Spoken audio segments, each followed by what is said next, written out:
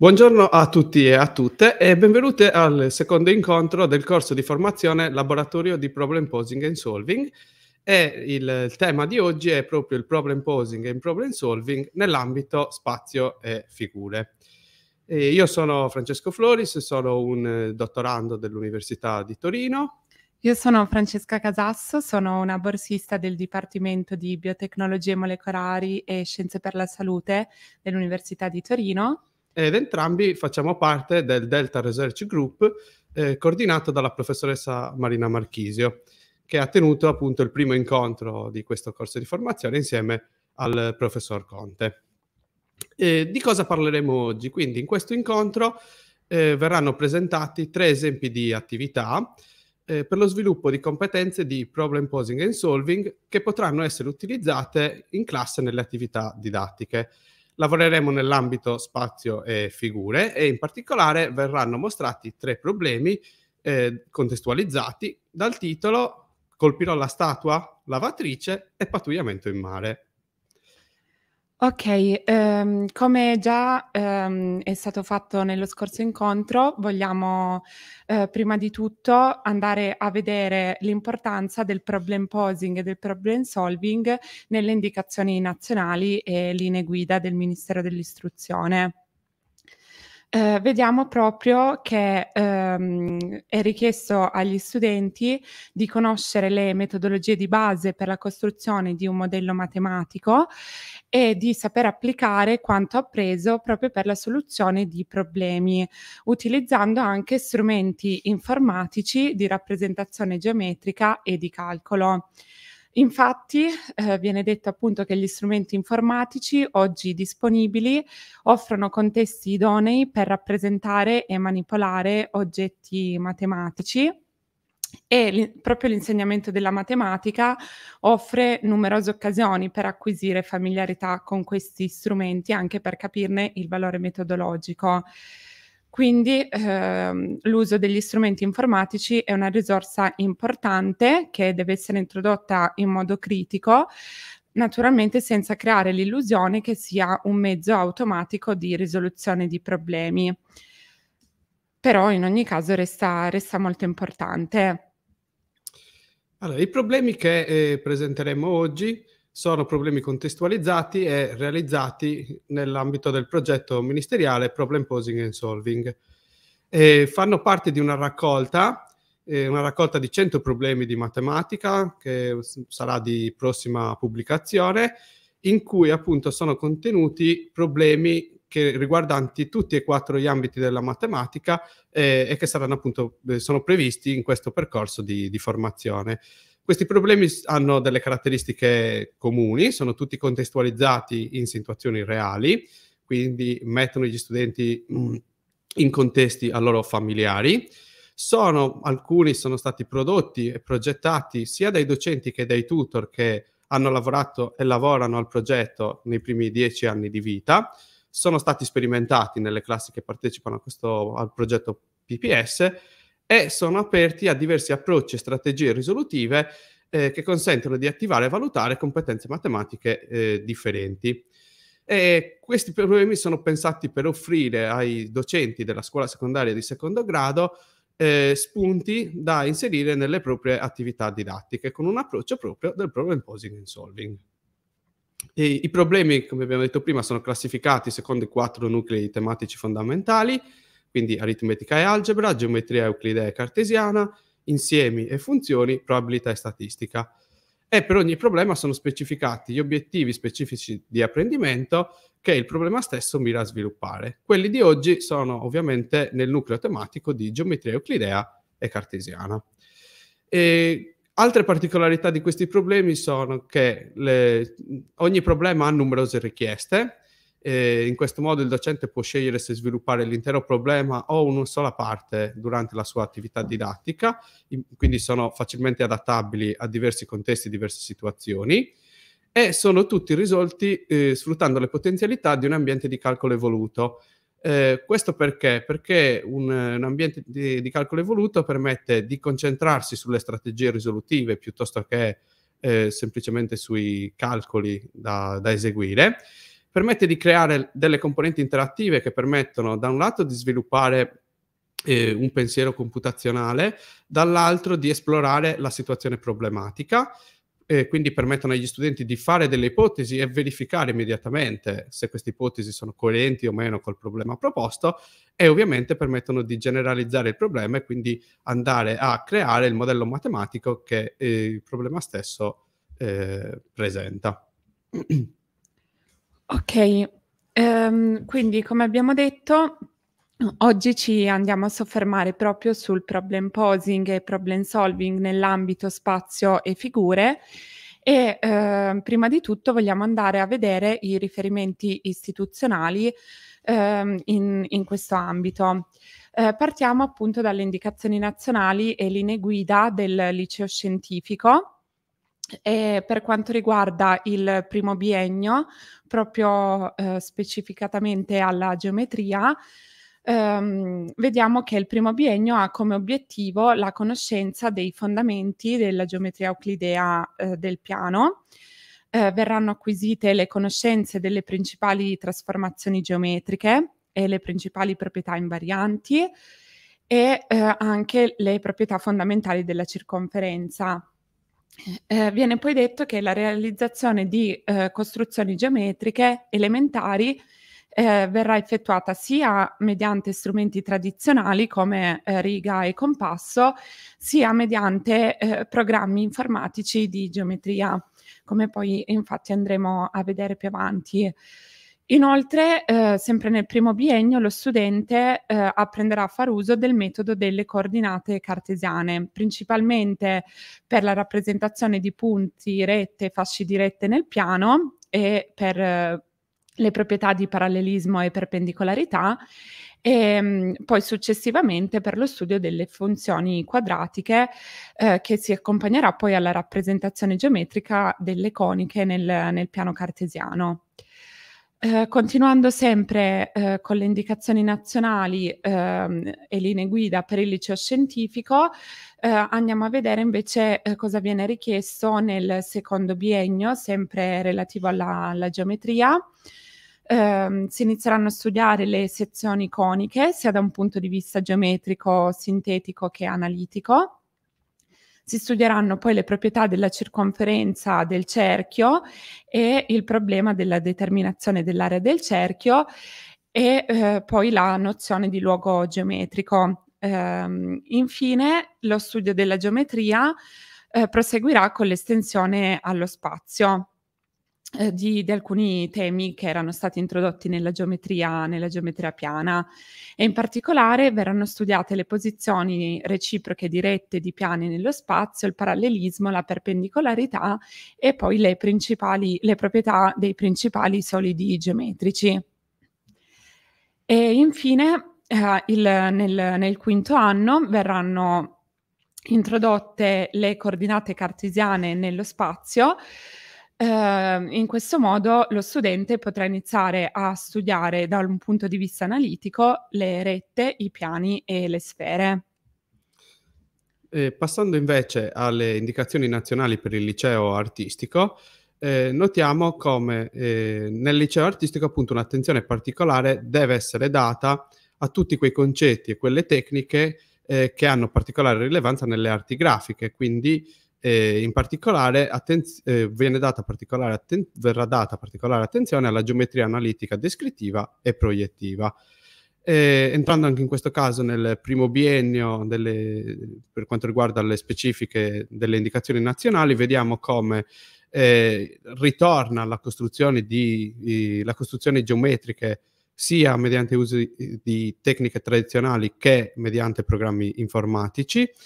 e eh, ovviamente anche qui ci sarà eh, da apprendere, ci saranno da apprendere i principi matematici di base coinvolti nella eh, rappresentazione di figure sia nello spazio che nel piano. Eh, e quindi in particolare, essendo il liceo artistico, i problemi di rappresentazione delle figure eh, quali si presentano nel contesto proprio artistico. E per quanto riguarda invece il secondo biennio, e qui verranno approfonditi i fondamenti matematici della prospettiva eh, e quindi approfondire le relazioni che, tra le conoscenze acquisite in ambito geometrico e le problematiche di rappresentazione figurativa e artistica. E nel quinto anno eh, verranno anche qui studiate le principali proprietà eh, dei solidi geometrici, in particolare dei, dei poliedri.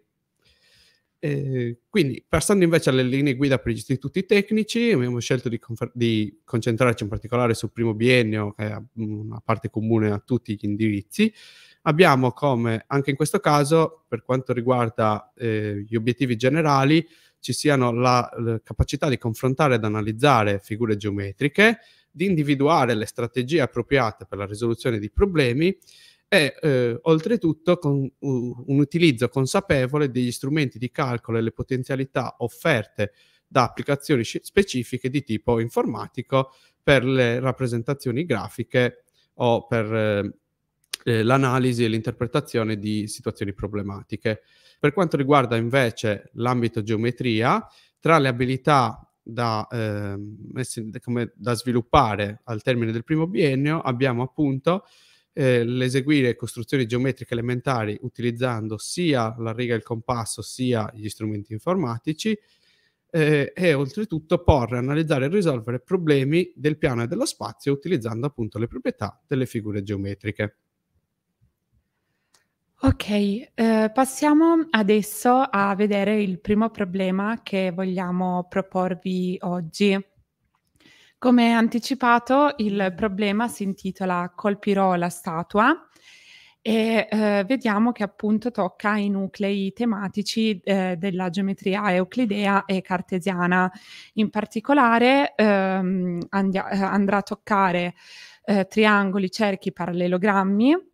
eh, i sistemi di riferimento ai luoghi geometrici e le funzioni circolari. Eh, sono poi specificati gli obiettivi eh, che si vogliono andare a raggiungere con la risoluzione di questo problema. Eh, innanzitutto si vogliono utilizzare i risultati principali della geometria euclidea, in particolare la geometria del triangolo e del cerchio, Ehm, si vogliono poi, si vuole fare uso delle funzioni circolari per esprimere le relazioni tra gli elementi di una data configurazione geometrica.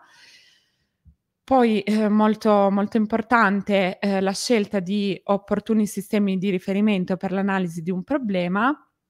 e anche ehm, l'obiettivo di studiare rette coniche e le loro intersezioni nel piano. Anche qui ehm, ritorniamo un attimo su, sulle indicazioni nazionali per i licei per andare a vedere quali sono i riferimenti istituzionali a cui ci siamo appunto mh, accostati per lo sviluppo di questo problema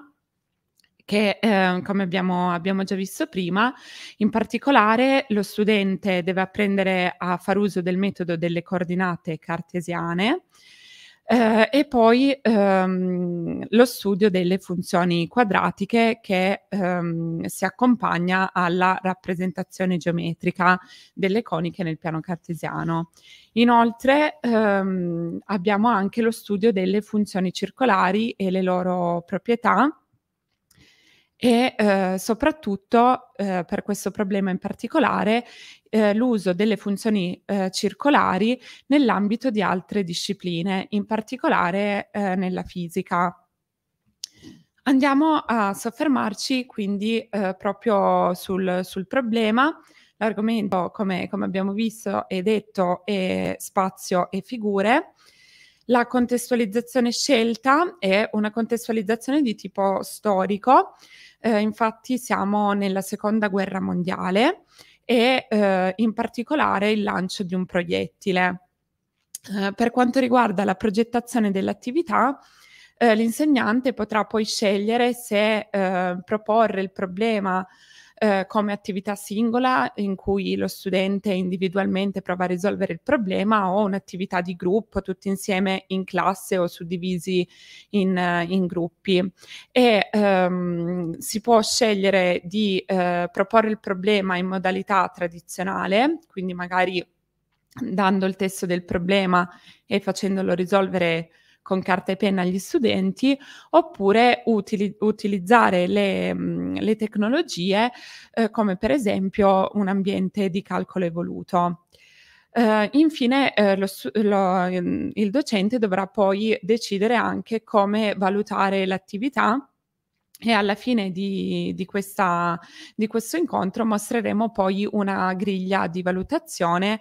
eh, pensata proprio per, ehm, per il, in particolare per il problem posing e il problem solving.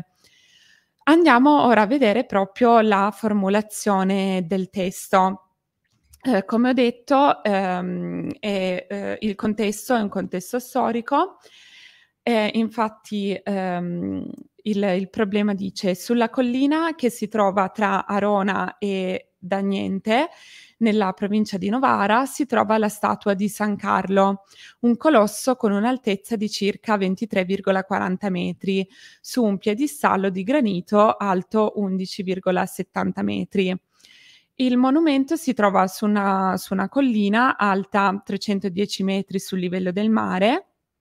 Eh, il San Carlone, così chiamato con affetto dagli aronesi, è tra le statue visitabili all'interno, secondo per altezza solo alla Statua della Libertà, eh, che appunto fu costruita studiando proprio la struttura della statua aronese. Durante la seconda guerra mondiale alcune truppe tedesche accampate presso Meina si erano posto l'obiettivo di conquistare Arona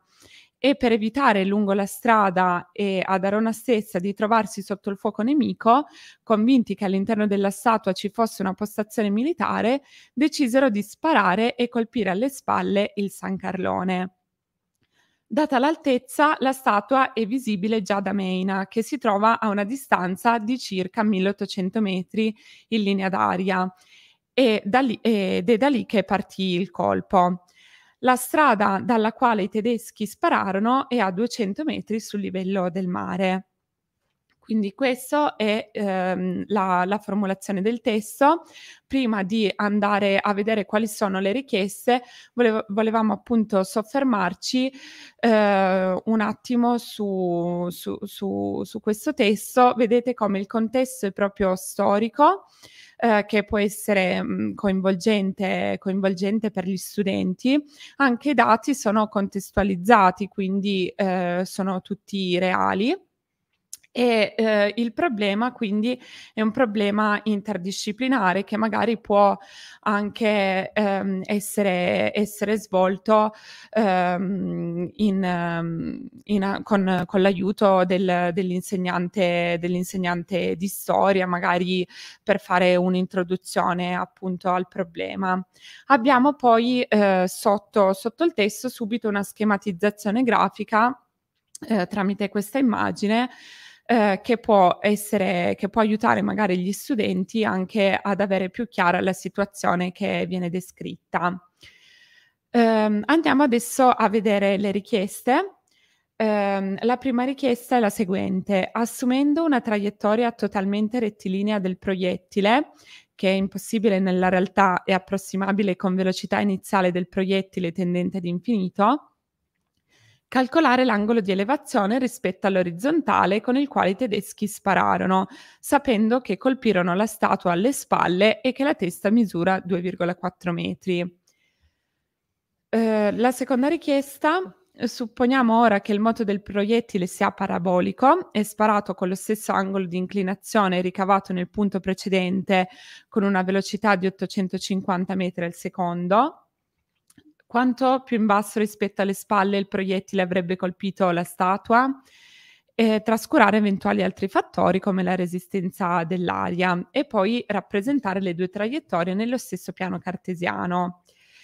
Infine, la terza richiesta è quella di costruire un sistema di componenti interattive che, data l'altezza di una statua situata su una collina, la distanza in linea d'aria tra la statua e la postazione delle truppe tedesche e il dislivello della collina rispetto al punto di attacco, restituisca l'angolo di fuoco necessario per colpire la statua, tralasciando la forza di gravità, e data la velocità iniziale del proiettile, del proiettile, calcoli quanto più in basso rispetto al punto sotto la testa il proiettile colpirebbe la statua considerando un moto parabolico e non rettilineo. Quindi anche in questo caso il, um, eh, il problema ehm, oltre alla matematica eh, tocca anche la, la, fisica e infatti eh, si possono appunto ricercare eh, diversi collegamenti interdisciplinari e eh, le richieste sono eh, graduali in ordine di difficoltà per favorire anche l'apprendimento adattivo degli studenti e ehm,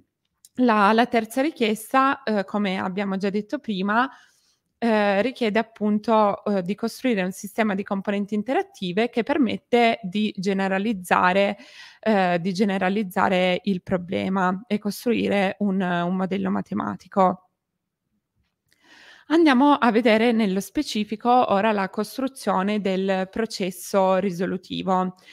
eh, andiamo a vedere come eh, si, si, può risolvere eh, il, la prima richiesta, quindi quella di calcolare l'angolo di elevazione rispetto all'orizzontale.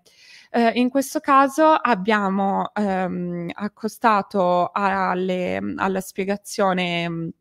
eh, scritta alle, mm, alle, parole anche un, uh, un, registro grafico a sostegno appunto della risoluzione per far capire uh, meglio la risoluzione agli studenti.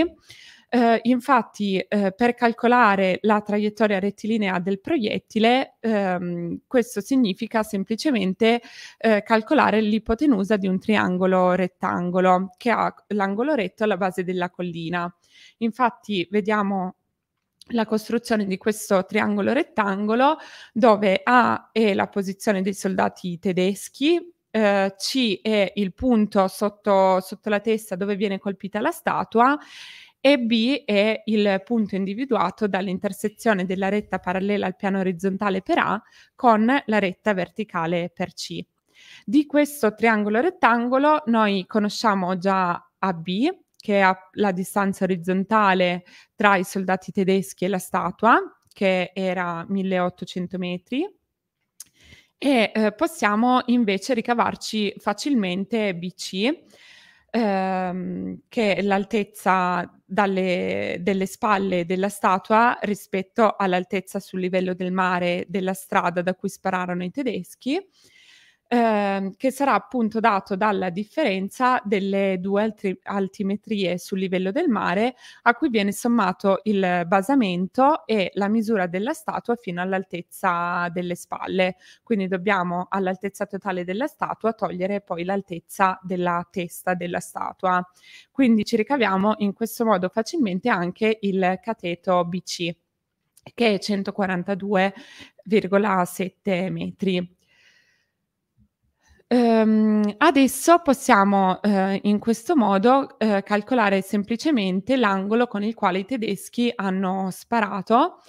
Ehm, basta infatti utilizzare la funzione arcotangente eh, tra, al rapporto tra il cateto opposto e quello adiacente. Eh, vedete che quindi anche mh, mhmm, la, la, soluzione richiede comunque dei prerequisiti teorici per riuscire a, ad affrontare il, il problema. Eh, quindi ehm, trovando appunto l'arco tangente del rapporto troviamo l'angolo. L'angolo in questo caso lo riceviamo in radianti e eh, possiamo convertire eh, il, um, il, appunto l'angolo radianti in gradi sessadecimali e, e poi anche in, uh, più precisamente in gradi sessagesimali. Per farlo possiamo utilizzare anche un, um, un comando dell'ambiente di calcolo evoluto eh, per eh, appunto semplificare i calcoli e, um, e le conversioni. Eh, passiamo invece alla risoluzione del secondo, della seconda richiesta, quindi eh, ipotizziamo ora eh, che il proiettile abbia un moto parabolico e eh, quindi che venga trascinato verso il basso dalla forza di gravità. Ci chiediamo quindi quanto più in basso rispetto alle, alle spalle il proiettile avrebbe colpito la statua. Eh, qui vediamo proprio che eh, eh, vengono richieste delle competenze ehm, che si apprendono in, ehm, in fisica. Infatti, ehm, per trovare appunto un, um, un moto parabolico, ehm, abbiamo che in un sistema di riferimento cartesiano la posizione x, y eh, in funzione del tempo di un proiettile che viene lanciato da un punto di coordinate x con 0, y con 0 con una velocità iniziale v con 0 che eh, avrà la componente orizzontale v con 0x e componente verticale v con 0y è data da Uh, dalle due, dalle due equazioni che vedete, che vedete scritte eh, e bisogna naturalmente ricordarsi eh, quanto, quanto, vale g, l'accelerazione di gravità. Quindi possiamo eh, fissare noi un sistema di riferimento in cui l'origine degli assi coincide con il punto A eh, dove stanno i soldati tedeschi, dove viene appunto lanciato il proiettile. Quindi il nostro punto iniziale x con 0, y con 0 sarà l'origine e l'asse delle x invece coincide con la retta AB del triangolo di prima. Eh, sapendo appunto la velocità iniziale possiamo calcolare eh, semplicemente le, le, sue componenti orizzontali e verticali, ehm, ricordando che l'angolo è quello trovato nel punto precedente e eh, volevamo soffermarci in particolare eh, sul, sul, fatto che ehm, attraverso l'utilizzo di un ambiente di calcolo evoluto per la risoluzione di problemi è possibile assegnare anche delle variabili ehm, e poi richiamarle in seguito. Per esempio in questo caso abbiamo assegnato alla variabile v con 0x e alla variabile v con 0y il valore il, il, loro valore numerico e le richiameremo in seguito nel, nella risoluzione del problema. Infatti ehm, andiamo a vedere che eh, l'equazione del moto sull'asse delle x eh, è ehm, appunto x uguale a v con 0x per t, dove v con 0x il, sarà il valore che abbiamo assegnato precedentemente e anche eh, sull'asse, eh, il moto sull'asse delle y possiamo andare a richiamare i valori che abbiamo, mm, che abbiamo assegnato in precedenza. Quindi abbiamo trovato le due equazioni del moto sull'asse delle x e sull'asse delle y. Dalla prima equazione possiamo andare a trovare il tempo e andiamo a sostituirla nella seconda eh, per trovare eh, la, proprio l'equazione cartesiana del moto parabolico. Eh, anche in questo caso è possibile utilizzare dei comandi dell'ambiente di calcolo evoluto per fare in modo che gli studenti si focalizzino in particolare sulla risoluzione del problema e sui contenuti e non tanto sullo svolgimento dei calcoli eh, numerici. Quindi in questo modo abbiamo trovato l'equazione della traiettoria del, del proiettile. Eh, a questo punto, per eh, capire a che altezza verrà colpita la statua, è, eh, è sufficiente eh, chiedersi qual è l'ordinata del punto che ha come ascissa 1800 metri. Quindi andiamo a sostituire nell'equazione trovata eh, x uguale a 1800 e troviamo eh, l'altezza ehm, a, alla quale il proiettile colpirà la statua. In questo caso abbiamo trovato 120,57 metri che è circa eh, 22 metri più in basso rispetto al punto colpito nel lancio precedente che eh, ci, ci, aspettavamo a causa della, mh, della gravità. Eh, possiamo poi andare ehm, a rappresentare graficamente i grafici delle, delle due traiettorie eh, in, in, modo tale da avere chiara la, la situazione e volendo possiamo farlo eh, proprio all'interno del, dell'ambiente di calcolo evoluto che eh, permette proprio l'utilizzo di, di diversi registri. Uh, infine, ehm, andiamo a eh, generalizzare la soluzione, quindi a creare eh, un, un, sistema di componenti interattive che ehm, vedete eh, chiede di eh, impostare l'altezza del, del, monumento, chiede proprio agli studenti di scegliere con lo slider l'altezza del, del monumento, mantenendo fissa comunque la testa della, della statua che sarà comunque alta 2,4 metri. Verrà, viene chiesto di impostare la distanza orizzontale dallo sparo al monumento, di impostare l'altezza della collina sul livello del mare e di impostare l'altezza della strada dove si trovano i tedeschi sul livello del mare e infine di impostare la velocità iniziale del proiettile. Eh, come output la componente interattiva ci restituirà eh, il moto, il, l'angolo eh, con il quale i tedeschi dovranno sparare ehm, considerando il moto del, pro- del, um, il moto del proiettile un moto rettilineo e invece eh, ci restituirà anche eh, quanto, quanti metri più in basso il proiettile colpirebbe la, um, la statua eh, rispetto a, appunto al, um, alle spalle, considerando invece un moto parabolico. E infine ci restituisce anche il, um, i, i grafici delle, delle, due traiettorie. Eh, vediamo proprio il funzionamento della componente interattiva. Eh, vedete, si possono inserire proprio i, i, i numeri, lo studente può, può farlo e eh, ci restituisce subito il, um, il, il risultato e eh, volendo c'è la possibilità anche di eh, modificare l'angolo ehm, di scegliere in che modo ricevere l'angolo, se in sessadecimali o in sessagesimali. Ok. Bene, passiamo quindi al secondo problema di, di questo incontro. Eh, il problema eh, si chiama appunto lavatrice e come nuclei eh, coinvolge oltre a quello di geometria euclidea e cartesiana anche il nucleo insieme funzioni. Eh, vedremo quindi come tocca triangoli, cerchi e parallelogrammi, le funzioni circolari, le figure geometriche sia nel piano sia nello spazio, mentre per quanto riguarda il nucleo insieme funzioni verranno toccate le funzioni e le successioni eh, elementari. E, allora, gli obiettivi che questo eh, problema eh, si propone di sviluppare sono eh, quelli di utilizzare la geometria del triangolo e del cerchio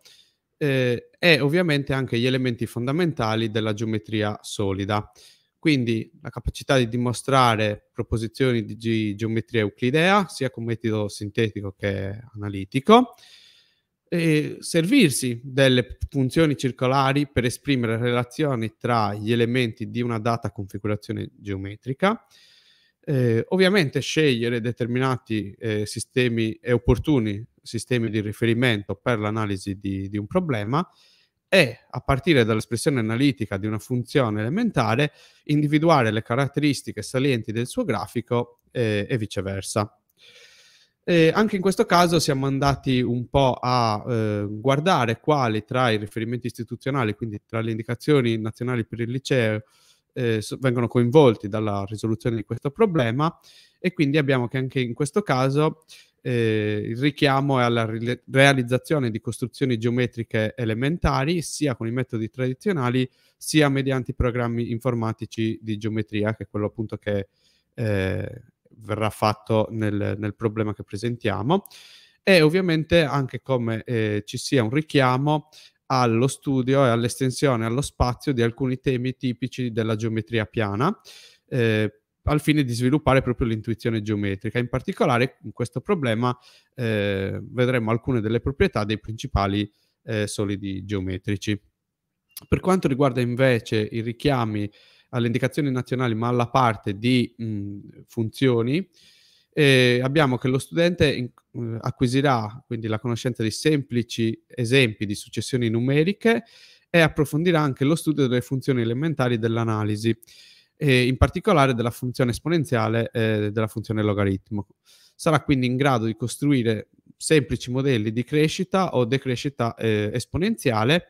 eh, anche in relazione allo studio con eh, delle altre discipline. Eh, concentriamoci quindi eh, un po' di più sul, sul, problema. L'argomento è lo stesso di tutti quelli di oggi, quindi spazio e figure. Abbiamo come contestualizzazione l'utilizzo e il funzionamento di, di una lavatrice e anche in questo caso, come eh, per tutti i problemi, abbiamo la possibilità di progettare l'attività eh, secondo diverse modalità, quindi sia un'attività singola o eh, quindi in cui si chiede allo studente di risolvere il problema, sia con metodi tradizionali o utilizzando le tecnologie, la possibilità di lavorare sia con l'intera gruppo classe, quindi proiettando per esempio il problema, oppure semplicemente assegnando il problema a dei gruppi di studenti che dovranno appunto risolverlo e poi fare una discussione generale sulle varie strategie e gli approcci risolutivi utilizzati dagli studenti e ovviamente quindi eh, per tutte queste modalità si può pensare a una modalità di risoluzione tradizionale o utilizzando le tecnologie e gli strumenti informatici appropriati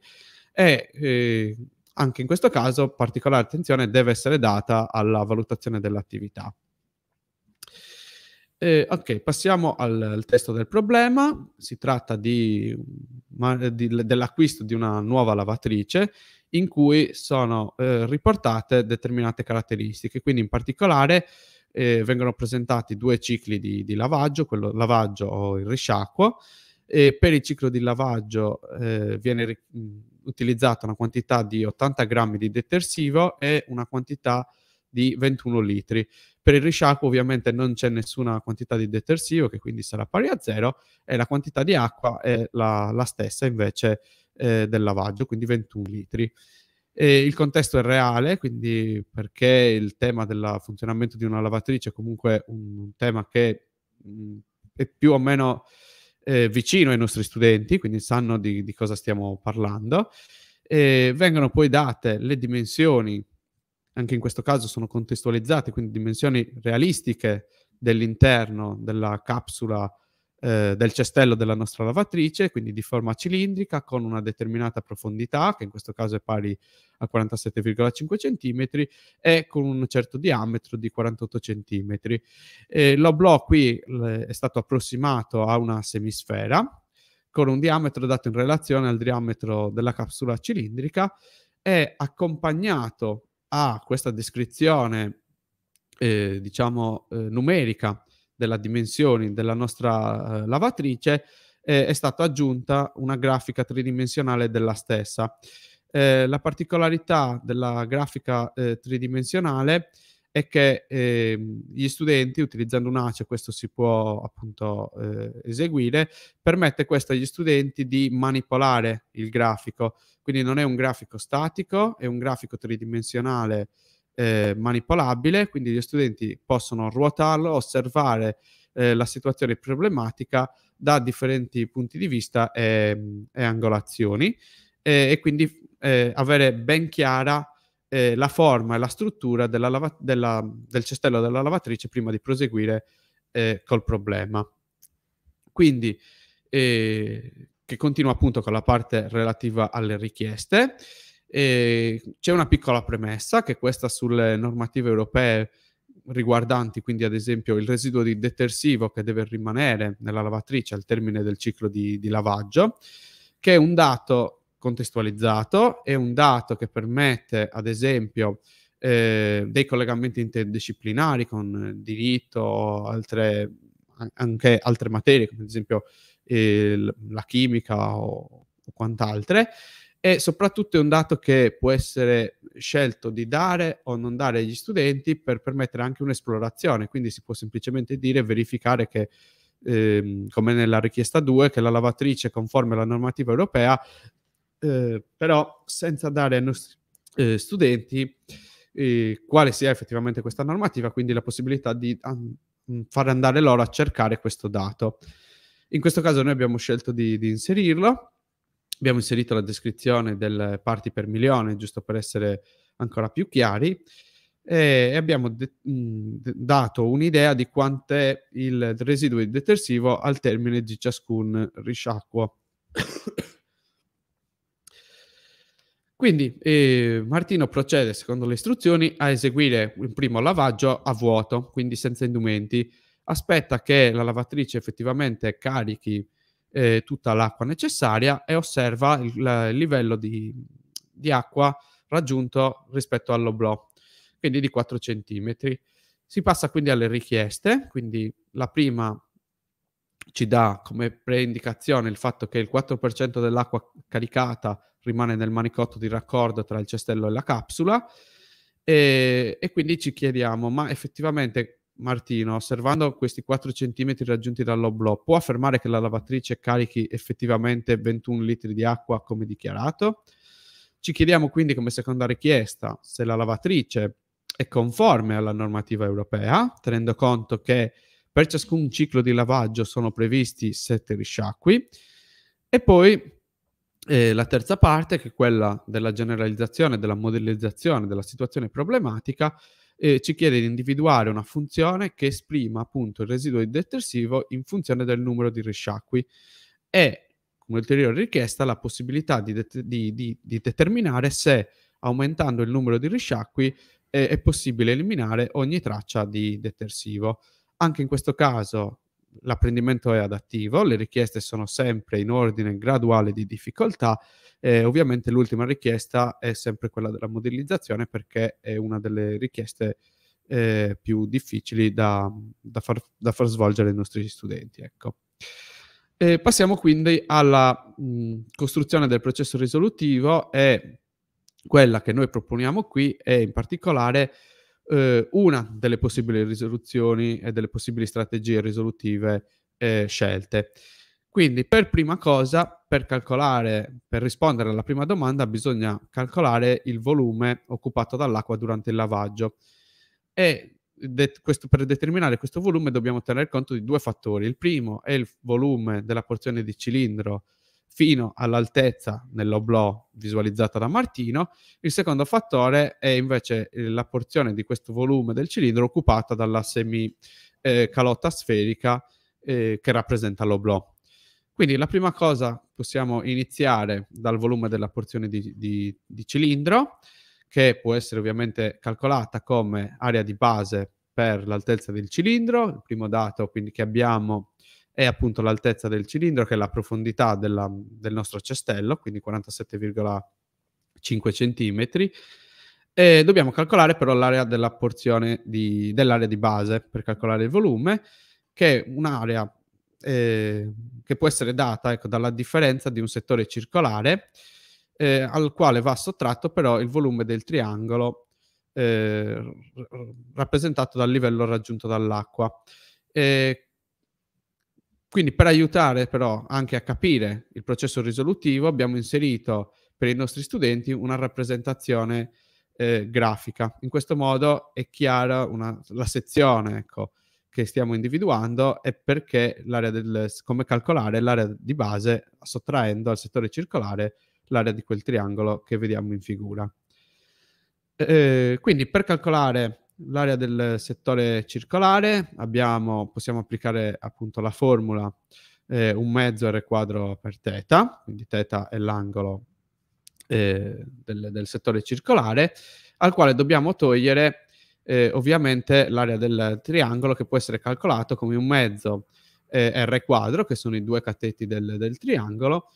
eh, due lati del triangolo per il seno dell'angolo eh, compreso tra di loro. E quindi abbiamo, vediamo lì poi che c'è anche una semplificazione della formula. E quindi a questo punto l'unico dato che ci rimane da calcolare, in quanto eh, abbiamo il valore del, del raggio,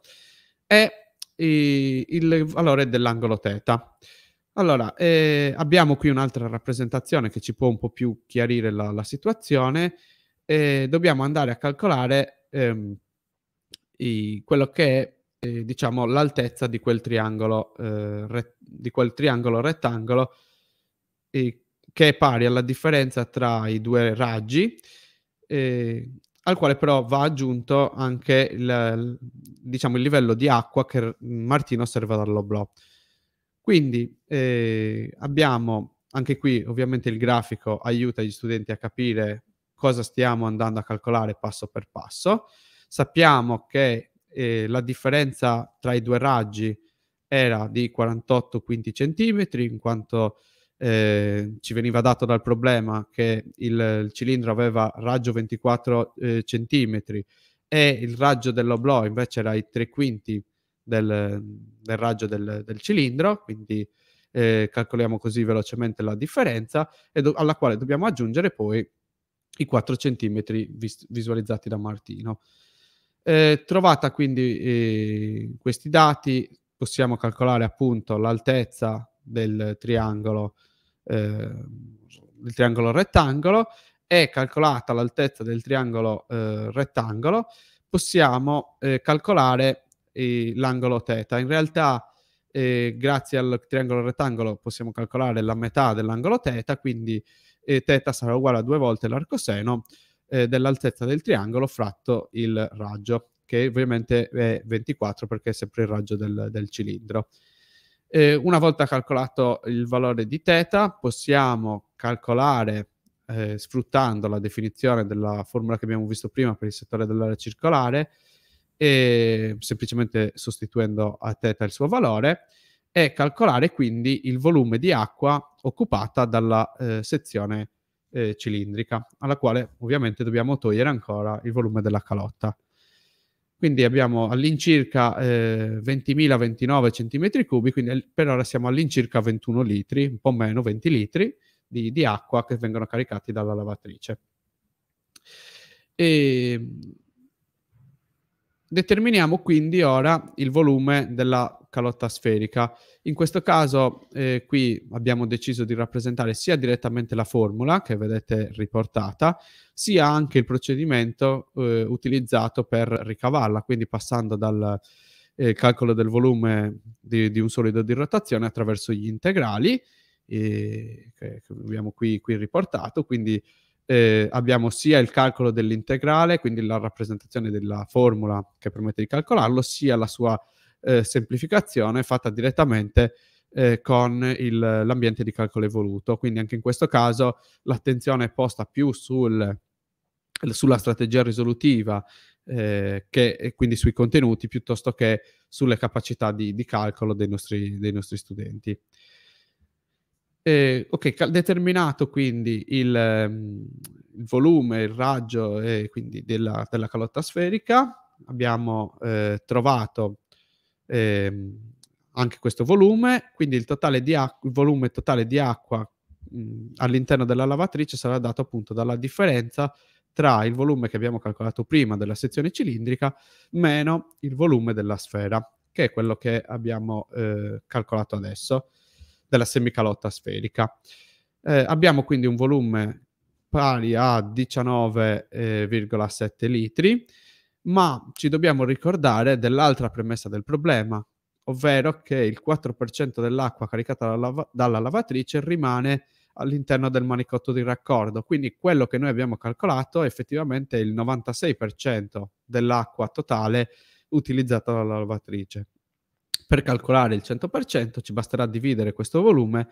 per eh, 0,96 e otteniamo appunto eh, 20.522 cm3 di acqua che sono all'incirca, una buona approssimazione, 21 litri di acqua come dichiarato nell'etichetta della nostra lavatrice. Quindi possiamo rispondere che effettivamente rispetto alla prima domanda la lavatrice carica mh, esattamente 21 litri come dichiarato.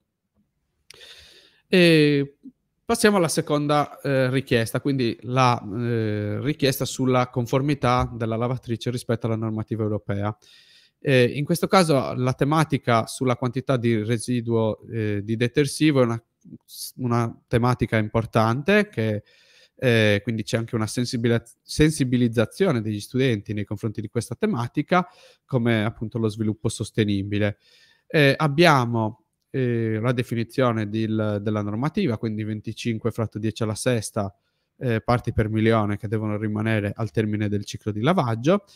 e dobbiamo andare a calcolare se rispetto ai dati che noi abbiamo iniziali, quindi quegli 80 mg di detersivo fratto i 21 litri di acqua, e al termine del ciclo di risciacque appunto questa quantità sia diminuita in maniera sufficiente eh, per rientrare nei parametri della normativa.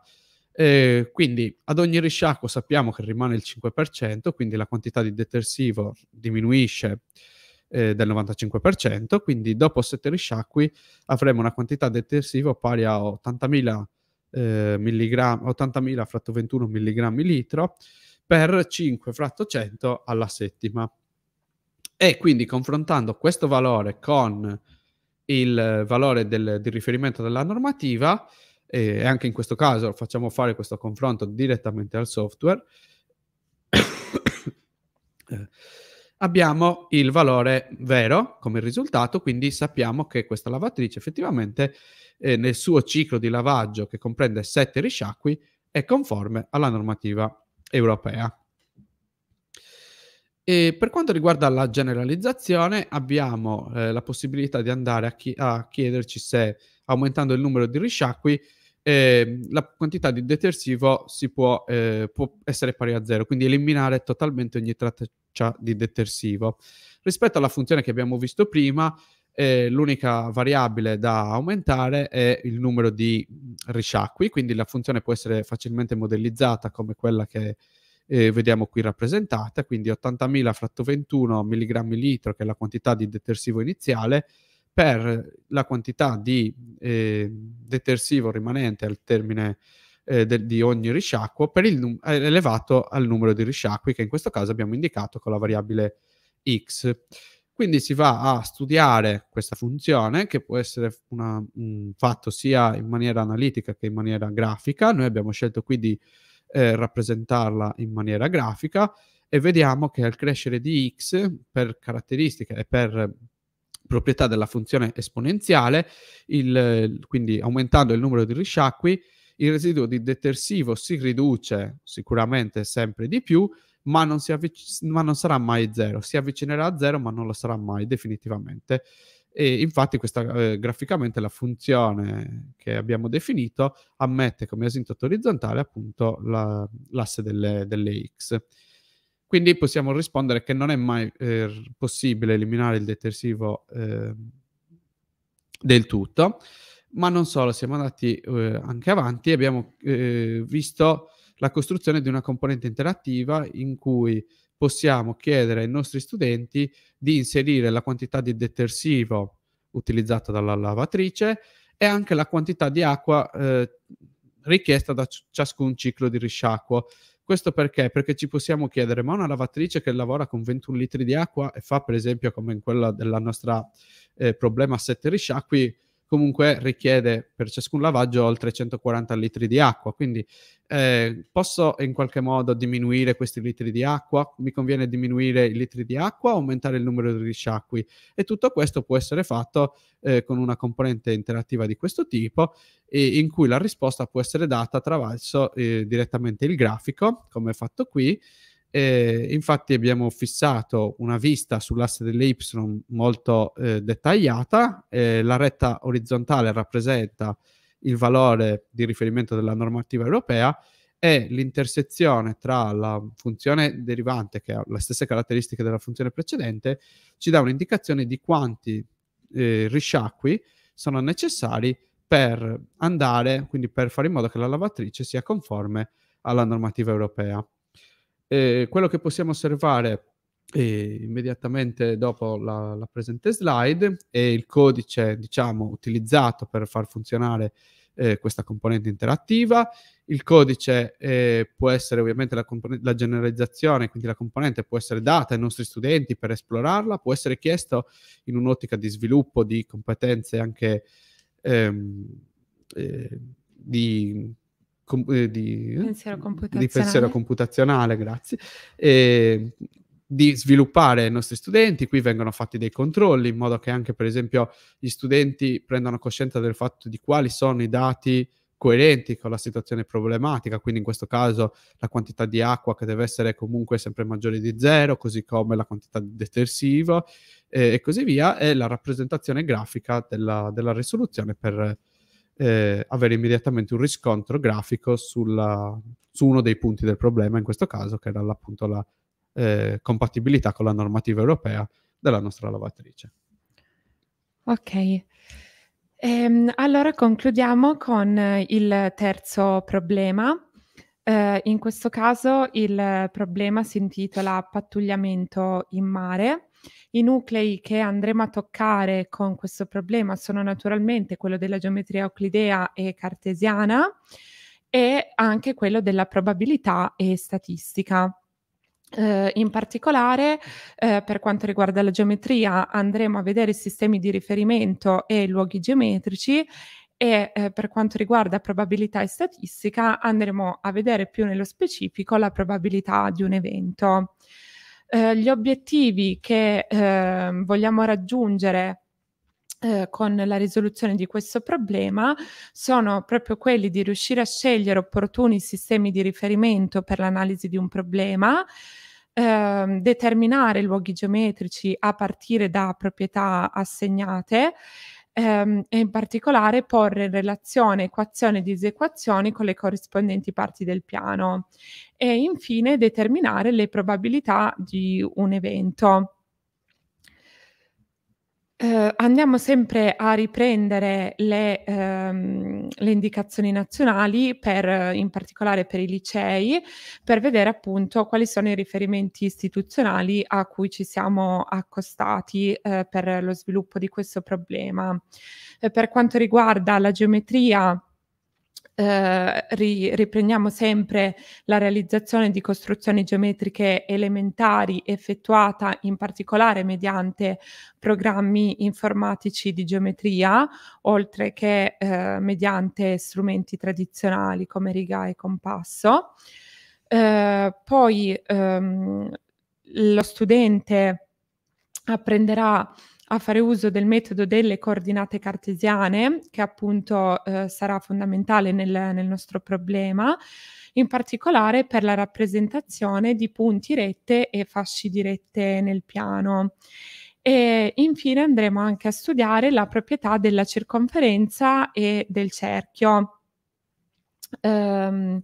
e eh, nonché la nozione di luogo geometrico eh, proprio eh, facendo eh, degli esempi all'interno del nostro, del nostro problema. Eh, per quanto riguarda invece eh, l'ambito del, mm, del, dati e previsioni, ehm, andiamo a toccare eh, la nozione di probabilità, eh, andremo ad approfondire in modo rigoroso il concetto di modello matematico e ehm, in particolare eh, collegandolo con altre discipline. Eh, ora entriamo un po' più nello specifico del nostro problema pattugliamento in mare. L'argomento sono eh, i luoghi geometrici, come abbiamo visto, e la probabilità di un evento e la contestualizzazione è quella di un pattugliamento in mare attraverso dei dispositivi radar. Anche in questo caso, per la progettazione dell'attività, eh, suggeriamo ehm, attività singola eh, in cui lo studente può risolvere in modo individuale il problema o eh, attività di gruppo proiettando il problema alla, alla LIM. Ehm, e eh, anche in questo caso si può scegliere tra modalità tradizionale o utilizzando le tecnologie eh, come appunto eh, le, un ambiente di calcolo evoluto eh, che, che, abbiamo uti- utilizzato per, per, lo sviluppo di questo problema. E ehm, infine eh, suggeriamo di fare particolare attenzione alla progettazione della valutazione dell'attività e alla fine, al termine di questo problema, andremo a vedere una particolare griglia di valutazione. Ehm, andiamo a vedere ora la formulazione del testo di questo problema. Eh, il contesto scelto è un contesto reale eh, che, cioè, che, che, può capitare nelle, nella realtà e che può essere particolarmente coinvolgente per, per gli studenti perché si... Ehm, si tratta appunto di un, di un pattugliamento in mare di un, di un, motoscafo pilotato da alcuni pericolosi commercianti di droga. Eh, in questo caso anche i dati sono contestualizzati, quindi sono dei dati verosimili. E, ehm, e poi andiamo a vedere eh, quali sono le richieste. Allora, in particolare eh, il testo del problema eh, dice che una zona di mare aperto è controllata da un dispositivo radar con raggio di azione lungo 30 miglia ed è stato segnalato ehm, un motoscafo pilotato appunto da alcuni pericolosi commercianti di droga che si trova rispetto al radar 50 miglia a ovest e 40 miglia a sud. Eh, I criminali in questo caso stanno per trasferire un carico di traffico illecito e eh, seguono un percorso rettilineo per raggiungere una destinazione segreta. Le richieste sono le seguenti. In eh, primo luogo ci chiediamo se ci sono possibilità di intercettazione per il radar, quali sono poi le regioni di mare che eh, conviene pattugliare al fine di rendere più facile intercettare i criminali e infine eh, chiediamo appunto di calcolare qual è la probabilità che il radar intercetti il motoscafo. Ehm, andiamo a vedere la risoluzione della, della prima richiesta, quindi se ci sono possibilità di intercettazione del radar e suggeriamo eh, per inquadrare subito la, la, situazione di andare a disegnare appunto ehm, innanzitutto il radar, la motovedetta e i nostri punti cardinali. Eh, possiamo utilizzare anche eh, l'ambiente di calcolo evoluto per, ehm, per, per, fare il disegno, ci sono appunto dei comandi appositi e in ogni caso suggeriamo comunque eh, di, di, utilizzare un grafico per schematizzare la situazione. Vedete appunto in questo grafico eh, sul piano cartesiano eh, il, il puntino rosso è il radar che abbiamo scelto di ehm, eh, per, facili- eh, per, per, facilitare la situazione di eh, posizionarlo nell'origine e il, ehm, la, la, moto, la, motovedetta eh, dei, dei, criminali eh, che a, abbiamo appunto posizionato a 50 miglia a ovest e 40 miglia a sud. Uh, quindi uh, per uh, analiticamente lo studente si deve accorgere che ehm, il percorso dei narcotrafficanti eh, essendo un percorso, sappiamo, rettilineo, appartiene sicuramente al fascio di rette centrato nella posizione iniziale del motoscafo. Eh, e eh, bisogna sfruttare invece il fatto che la regione di mare monitorata dal radar non è altro che una circonferenza di raggio 30 e ehm, eh, centro 000. Abbiamo infatti scelto di inserire il radar nello, nell'origine. Eh, quindi do, quello che dobbiamo fare è semplicemente quello di tro- eh, è, eh, dobbiamo andare a trovare le condizioni secondo le quali il fascio di rete interseca il cerchio del radar e dobbiamo però anche fare attenzione al, al senso di marcia che non è indifferente in questo caso. Quindi, come, come, abbiamo già detto, fissiamo un, um, un, sistema di coordinate in cui posizioniamo il radar nell'origine, posizioniamo il motoscafo nel punto um,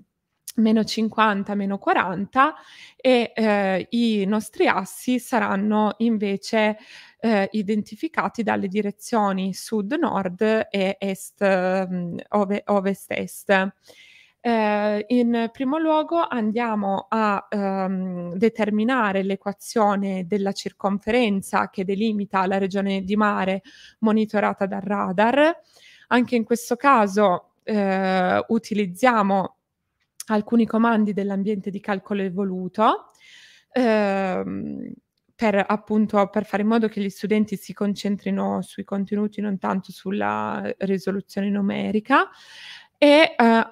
andiamo a rappresentare anche la regione di mare eh, monitorata dal radar, semplicemente la vedete in, in verde, che l'abbiamo aggiunta al, um, al grafico precedente.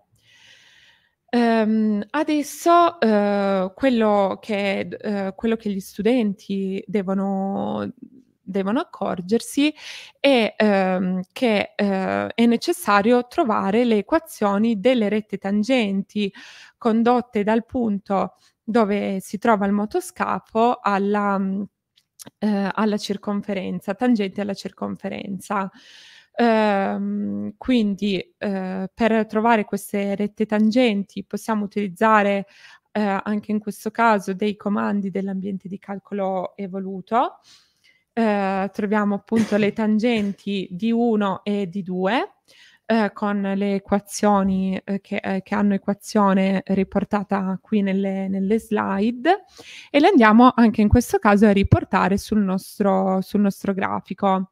Eh, ora è proprio chiaro, anche grazie all'utilizzo del grafico, che il radar può intercettare il motoscafo se il motoscafo si muove in direzione e verso compresi fra le due rette tangenti che vediamo rappresentate.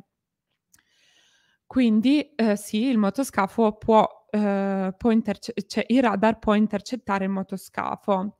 Per rispondere invece alla seconda richiesta, quindi quali regioni di mare conviene pattugliare, andiamo proprio in modo analitico a trovare le pendenze delle rette tangenti. Eh, anche in questo caso possiamo chiedere all'ambiente di calcolo evoluto di, di farlo al posto nostro. Ehm, e eh, troviamo in questo modo le, eh, le, due, le due pendenze. Eh, la prima 2,31, la seconda 0,1 18 all'incirca. E ehm, quindi eh, in questo modo, eh, facendo comunque lavorare, eh, scegliendo di far lavorare lo studente eh, con i comandi dell'ambiente di calcolo evoluto, può essere anche un modo per rendere lo studente protagonista del proprio apprendimento, oltre che naturalmente, come già diceva Francesco prima, ehm, far sviluppare delle competenze di pensiero computazionale. Ehm, dopo aver trovato poi le due, mh, le due pendenze, possiamo andare a trovare l'equazione del fascio di rette eh, passanti per il, per il punto dove si trova il motoscafo e possiamo poi andare a, a rappresentare le, le due, il fascio di rette eh, comprese tra, tra le due tra le due pendenze, tra le due rette tangenti con le pendenze che abbiamo appena trovato in un grafico animato come vedete nelle slide. il grafico animato sicuramente può essere un aiuto allo studente per comprendere meglio la situazione. Eh, quindi dopo aver analizzato la situazione anche grazie all'aiuto del, del grafico, possiamo trarre ehm, alcune conclusioni. Quindi se i criminali si muovono lungo le direzioni individuate dalle rette del fascio ehm, con, con centro M e pendenza compresa tra le pendenze delle, delle due rette, e eh, direzione tale che x sia maggiore di meno 50, eh, loro saranno intercettati dal radar. Invece, se la pendenza delle rette che, che seguiranno, che seguirà la loro traiettoria ehm, è eh, minore eh, di, della, della, pendenza della prima retta e maggiore della pendenza della seconda retta eh, e eh, la direzione, è, il verso, scusate, è tale che x è minore o uguale di meno 50, i, mhmm, il radar non riuscirà ad intercettare i, i criminali. Eh, quindi ehm, le regioni di mare eh, spezzate da, da, queste rette, queste ultime che, che abbiamo detto, ehm, devono, essere, devono, essere, sorvegliate perché il radar non riuscirà a, mm, a intercettarli. Eh, infine viene appunto richiesto di calcolare la probabilità che il radar intercetti il, il motoscafo. Per, per, farlo possiamo trovare qual è l'angolo tra le due rette tangenti eh, anche in questo caso possiamo eh, chiedere al, all'ambiente di calcolo evoluto di trovare, di trovare l'angolo tra le due rette tangenti. Dopo aver trovato questo, questo angolo, possiamo appunto utilizzare eh, la semplice formula eh, casi eh, favorevoli fratto casi possibili e eh, trovare eh, appunto la, la pro- per trovare appunto la probabilità. La troviamo in percentuale, quindi mo- moltiplichiamo per cento e troviamo che è il 15%. 15,5%. Possiamo anche, eh, per, per, capire bene la situazione, sempre utilizzare un, um, un diagramma a torta Ehm, e quindi eh, pro- possiamo infine dire che la probabilità di intercettazione è di poco superiore al 15%.